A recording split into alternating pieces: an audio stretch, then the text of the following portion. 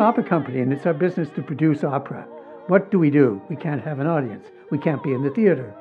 I thought, let's find something that we can actually film.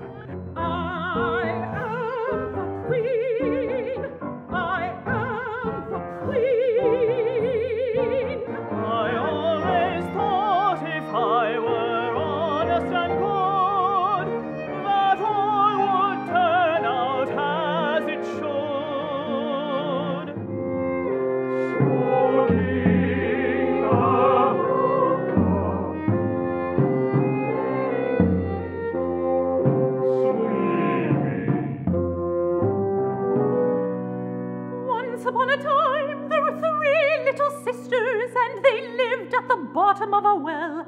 And their names were Ellie and Lucy and Tilly. and they... what did they eat there?